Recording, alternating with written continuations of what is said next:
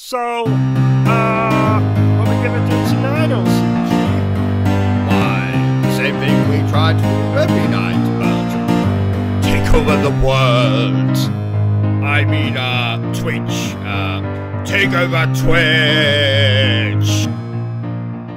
Ladies and gentlemen, boys and girls, welcome to Obsessive Compulsive Gaming. I am the Obsessive Compulsive Gamer, joined once again by my faithful manservant slash Buck Totem Bertram.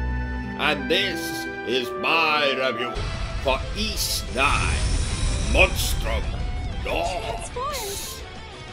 So, my friends, Ys 9 Monstrum Nox was released recently for the PlayStation 4 and surprising absolutely no one, That's a given. except for the village idiots, maybe, it is the sequel to Ys 8 Lacrimosa of Dana. It seems even the, The main plot this time concerns our intrepid adventurer Adol becoming a monstrum after being shot with a magic bullet.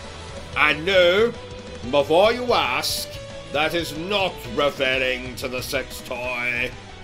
It is an actual magic bullet. This gives Adol the curse. And no, I thought we before you ask, that is not referring to a woman's time of the month. This curse gives Adol the devil trigger form from Devil May Cry. No, not literally, but it is very similar, and adorns Adol in very fetching crimson armor. And for some reason changes his name to the Crimson King. He King. is even more stubborn than Subtle, Rhino. this game is not. So, it is up to Adol and the other monstrums to defend Prison City from the forces of darkness. Sorry? What's a monstrum? Well, that's quite simple, dear viewer. It's a uh, it's it, it's uh, it's a th- uh, moving on. This game reminded me of Tales of Berseria, not least because both games feature a prison in their first few hours, but also that both protagonists undergo some kind of transformation.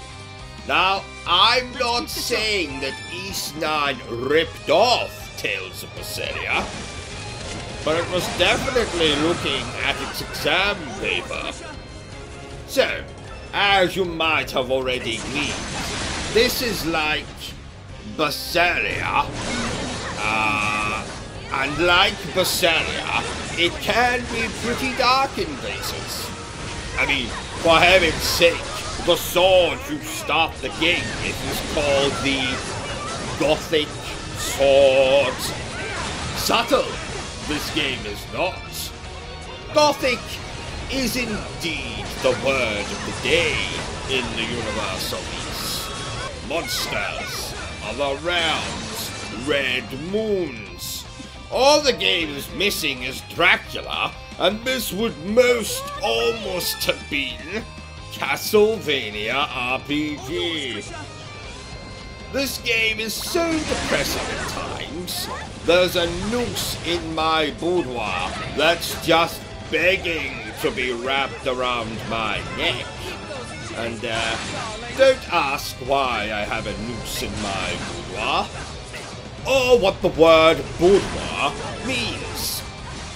I believe the developers of this game are actually vampires, because no human being could make something as dark as this. Well, except for Tim Burton, perhaps. And as far as I am aware, he has never tried his hand at game development. Though most of the dark moments in the game occur during its new gameplay mechanics, and the thing you are going to be doing most in Ys 9, Apart from the usual grinding and picking your nose, of course. You see, you move between realms. The other realm reminds me of Silent Hill and is full of monsters and other degenerates. You will often have to fight waves of them. I imagine this is where people like Randy Pitchford and Harvey Weinstein spend most of their time these days. It is called the Grimwald Nox, but I prefer to call it by its unofficial name, R. Kelly's Sex Dungeon. now, Ys 9 carries over the action RPG mechanics of Ys 8, wherein the game plays less like a traditional RPG like Dragon Quest or Final Fantasy, and is more like a hack and slash game, akin to Bayonetta or Devil May Cry. The gameplay of Ys has never been better than it is in this game. You can scale walls like a lot of video game characters, glide like uh, a lot of video game characters, teleport like uh, a lot of video game characters, and double jump like a lot of vi- I think you get the point. Regardless if it's been done before, it's never been done in an Ys game before, as far as I'm aware. Speaking of things being carried over from other Ys games, this game carries on the tradition of having a homosexual gentleman who will often flirt with not only the male protagonist, so in this case Adol, but every male in sight. I guess sexually transmitted diseases don't exist in these fantasy worlds. But then again, neither does erectile dysfunction. Or irritable bowel syndrome. Oh, unless it's Metal Gear Solid, of course. Where do you two think That you're going? brings us very nicely to voice acting, dear viewer. At least the developers of this game had the sense to include British voice acting. Those guys on Other goose chase to the RPG developers should take note. I do not want to play my video games in an alien language. Confused as hell. The only time I make an Figured I'd need exception to this is entrance and not pornography. since there was still some- Mostly because the acting is diabolical. Although, You know how Wom dangerous that was? later did But have some decent acting in between all the, uh, I get things fornicating. Simple and quick. I'm getting off track here. Let, let's get back to the Got any more review. gripes. Oh, and in case you soldiers were out there. wondering, Womb Later is a pornographic All right, parody Crimson of King. Tomb Raider. The prison awaits. Yes! No doubt you'll be looking that up as soon as this review is done. You dog, you. anyway, uh, although this is yet another game where not all of the dialogue is voice acted, and there is a very good reason for this, dear viewer. The cast, seemingly, could only record their dialogue when they took bathroom breaks. You see, the recording equipment was obviously kept there, so that they could only record snippets at a time, and inevitably, some of the dialogue was forgotten. This is understandable, because no one spends hours in the bathroom. Well, except for maybe cleaners, and plumbers, and compulsive masturbators, and Johnny from Metal Gear Solid. Yes, moving on. Speaking of Metal Gear Solid, this game takes the plot twist from The Phantom Pain. I mean, I don't want to say Ys 9 ripped it off, but it was definitely looking at the Phantom Pain's exam paper.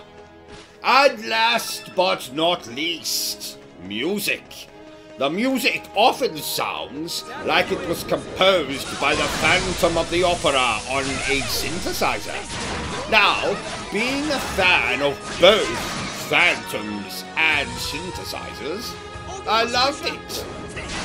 The rest of the time, it sounds like the Frankenstein monster on electric guitar. Oh, you didn't know he played? No, he was gifted the hands of a musician after all. No, actually, that's ridiculous. He was actually gifted the hands of a sex offender. So he still played, just uh, with a different instrument entirely. The music reminded me a lot of the soundtrack for Code Vein, and that means it is bloody amazing. If you haven't already guessed, dear viewer, this is another excellent entry in the Ys series. In fact, in fact, in fact, this might be my favorite one yet. Therefore, I am going to give Ys 9 Monstrum Nox an 8 out of 10.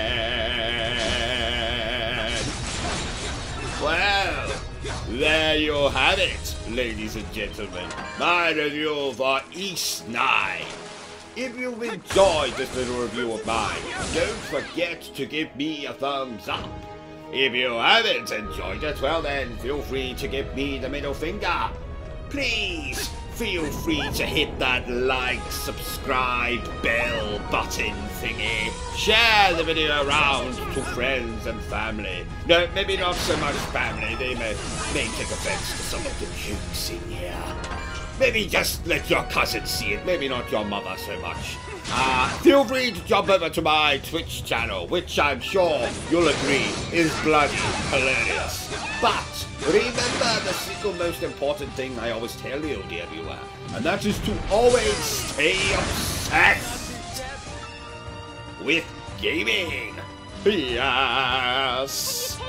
Yes, yes, yes, yes. You know, I, I should really stop singing I don't know who I'm trying to impress by singing. I was offered a contract with the, uh, Metropolitan Opera Company, but that's, uh, that's a story for another time. Anyway, I can't find the button to stop this thing. Where is it? Oh, yes.